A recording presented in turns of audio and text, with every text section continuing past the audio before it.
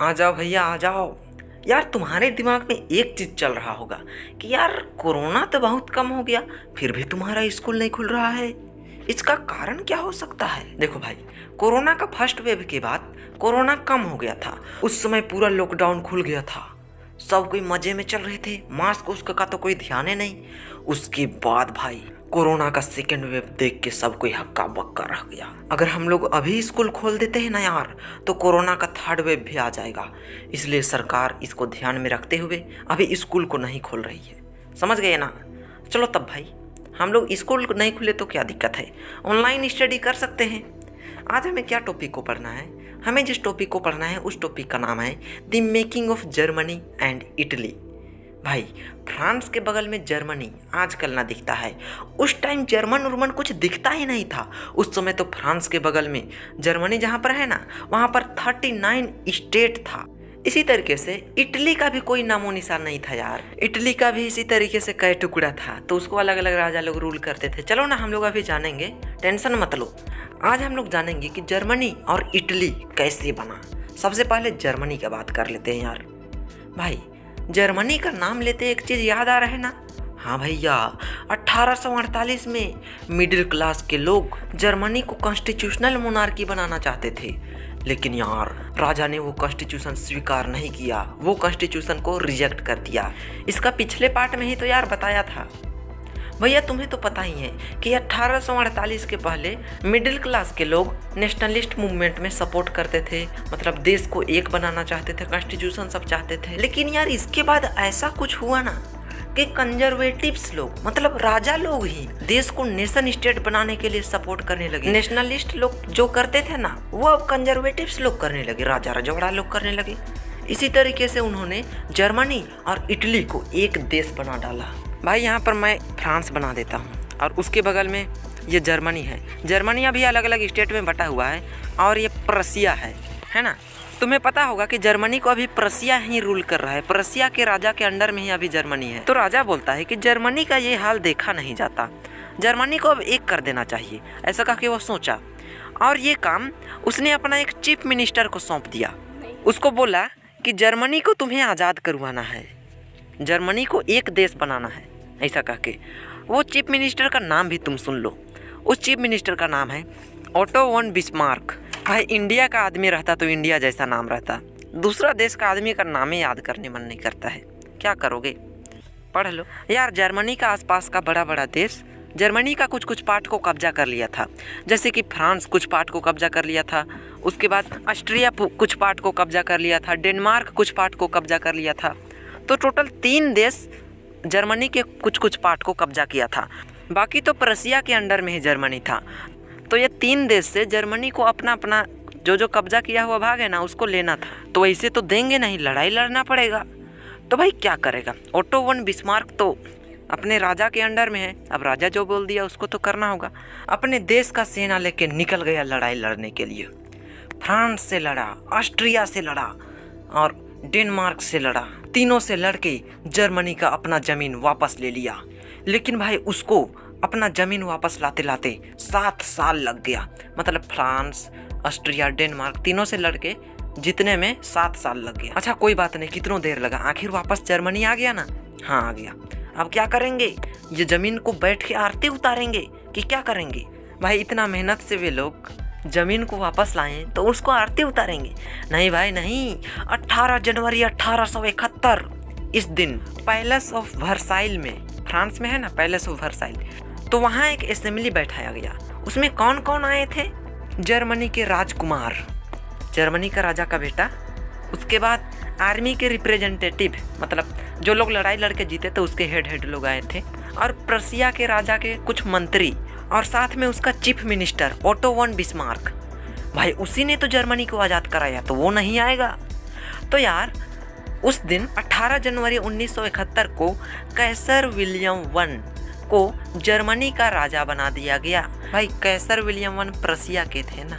भाई, जब ये जर्मनी का राजा बनाना तो प्रसिया में जो जो चीज़ किया था ना, वो सारा चीज़ जर्मनी में भी करने लगा।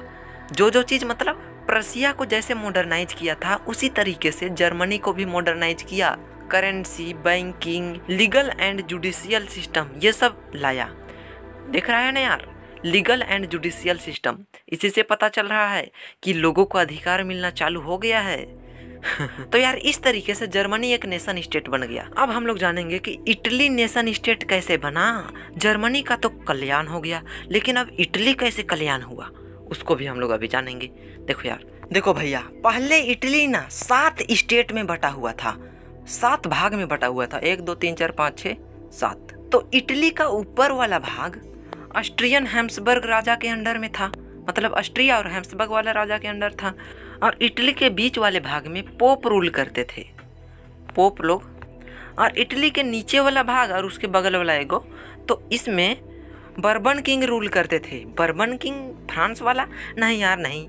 Bourbon king of Spain. Spain का बर्बन किंग रूल करते थे। और ये जो अभी मैं गोल गोल किया ना, इस रीजन का नाम था सार्दिनिया पीडीमोंट रीजन तो यही इटली के अंदर में था। मतलब इटली का राजा के अंडर में था। बाकी सब इसके हाथ से निकल चुका था। भाई, मैं ये मैप को कोना में बना देता हूँ। ये नीचे का जो है ना यार, नीचे वाला भाग, इसको टू सिसलीज किंगडम भी बोला जाता था, क्योंकि तो नीचे वाला भाग में दो गो ऐसा निकलल था। तो भाई, इटली को एक नेशन स्टेट बनाने के लिए किनका किनका योगदान था, उसको मैं सबसे पहले बताता हूँ। तो इटली को एक नेशन स्टेट बनाने के लिए जिस जिसिप्पी मजीनी, ये भी इटली को एक नेशन स्टेट बनाने के लिए पूरा ट्राई किए थे। भाई, कुछ दिन पहले मैं तुम्हें बताया था। कि इन्होंने यंग इटली नाम का एक सीक्रेट सोसाइटी बनाए थे। और एक बार ये रिवोल्यूशन करने का भी पूरा ट्राई किए थे। रिवोल्यूशन करके पूरा इटली को बाहर वाले लोगों से आज़ाद करवाना चाहते थे। लेकिन यार, ये फेल हो गए और इनको देश के बाहर भेज दिया गया। सेंट टू एग्जाइल बताया था ना मैं। लेकिन फिर भी यार, इनका कोशिश तो रहा ना। आखिर किए ना। सेकेंड आदमी का नाम है केमिलो केवर्ट यार ये सीएम है ना। इसका राजा कोई और है? ये सीएम है। तो इसका भी बहुत बड़ा योगदान था इटली को एक नेशन स्टेट बनाने के लिए। यार, इसका राजा का नाम था किंग विक्टर इमेनुअल ये इटली के सार्दिनिया पीडीमोंट रीजन के राजा थे। सार्दिनिया पीडीमोंट किस रीजन को कहते हैं जानते हो? भाई, इस रीजन को सार्दिनिया पीडीमोंट कहते हैं, ये वाला रीजन को। तो बस, इसी का राजा थे किंग विक्टर इमेनुअल टू। तो यही राजा सोचे कि इटली को आज़ाद कराना है और इटली को एक नेशन स्टेट बनाना है, एक ही देश बनाना है। और ये काम अपने सीएम केमिलो के व्योर को दे दिए। भाई, जब पूरा इटली इनके अंडर में हो जाएगा तो इनको फ़ायदा भी तो होगा। चारों तरफ़ से टैक्स मिलेगा। फ़ायदा को भी आदमी देखता है, लेकिन अपना कर्तव्य को भी देखता है। अच्छा क्या होता है, आप देखते हैं। भाई, ये जो कैमिलो के व्योर थे ना, ये कोई रिवोल्यूशनरी जैसा आदमी नहीं थे। बस सिंपल, सादा आदमी थे। ना ये डेमोक्रेटिक आदमी थे। बस, इनको अपने राजा के द्वारा आदेश मिला है, उसका पालन करना है। और राजा इसको आदेश काहे दिया। देखो भैया, ये जो सीएम है ना, इसका फ्रांस के साथ बहुत अच्छा जमता है। मतलब दोस्ती बहुत बढ़िया है। तो ये फ्रांस के साथ मिलके इटली का ऊपर वाला भाग आज़ाद करवा सकता है। फ्रांस का आर्मी और इसका आर्मी दोनों एक साथ मिल जाए तो इटली का ऊपर वाला भाग तो आज़ाद ही करवा सकता है। तो दोनों आर्मी मिल गए और भाई फाइनली ये लोग 1859 में इटली को अपने अंडर में ले लिए। मतलब इटली से वो जो राजा था ना, सबको भगवा दिए, उसको हरवा के।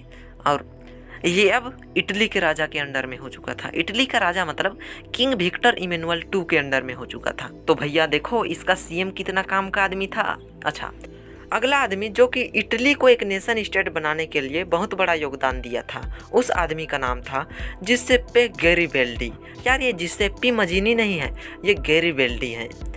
इनका अहम भूमिका था भाई। ये 1833 में जिससे पे मजीनी के साथ मिल गए और 1834 में इनका सीक्रेट सोसाइटी किनका सीक्रेट सोसाइटी जिससे पे मजीनी का सीक्रेट सोसाइटी यंग इटली में शामिल हो गए। कौन शामिल हुए? जिससे पे गरीब, गैरी वेल्डी। भाई, ये भी रिवोल्यूशनरी किस्म का आदमी थे। ये भी चाहते थे कि इटली एक नेशन स्टेट बन जाए। तो भाई, ये इटली के साउथ पार्ट में गए। साउथ पार्ट में गए और किसान को अपने साथ लेने लगे। अपने सपोर्ट में किसान लोगों को लेने लगे और रिवोल्ट चालू कर दिया राजा के विरुद्ध। और फाइनली यार, रिवोल्ट में ये लोग सक्सेस भी हो गए। यार रिवोल्ट मतलब कोई नट वोल्ट नहीं, रिवोल्ट मतलब रिवोल्यूशन होता है। अच्छा इटली का नॉर्थ पार्ट भी आज़ाद हो गया साउथ पार्ट भी आज़ाद हो गया। नॉर्थ साउथ दोनों पार्ट अब इटली का अपना हो गया, इटली का अपना राजा के अंडर में हो गया।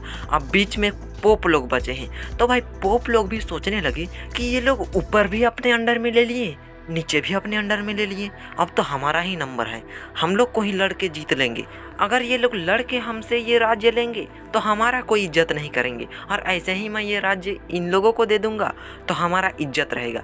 ऐसा कह के धीरे धीरे ये लोग अपना पावर डाइल्यूट कर दिए, अपना पावर कम कर दिए और राजा को दे दिए कि चाह भाई, ये बीच वाला पार्ट जो पोप लोग कब्जा किए थे ना वो तो बाद में शामिल किए राजा ऊपर और नीचे को जीतने के बाद रुकने वाला थोड़े ना है। अपने आप को इटली का सम्राट घोषित कर दिया गया। Victor Emmanuel to. इटली का सम्राट हो गए, ऐसा कहा। ये जो बीच वाला पार्ट है ना, जिसको पोप लोग रूल करते थे तो वो वाला पार्ट 1867 के आसपास में पूरा इटली में मिल गया था। तो फाइनली इटली एक नेशन स्टेट बन गया भाई एक चीज़ मैं तुम्हें बताना चाहता हूँ जब जिससे गैरीबल्टी के साथ जो किसान लोग राजा के विरुद्ध रिवोल्यूशन कर रहे थे ना तो उस समय एक नारा लगा रहे थे। ला तालिया उसका मतलब इन लोगों को पता नहीं था। इनको लग रहा था इन लोगों को लग रहा था कि ये विक्टर इमेनुअल टू का वाइफ का नाम होगा। तो भाई आज के लिए तो बस इतना ही मिलते हैं नेक्स्ट पार्ट में।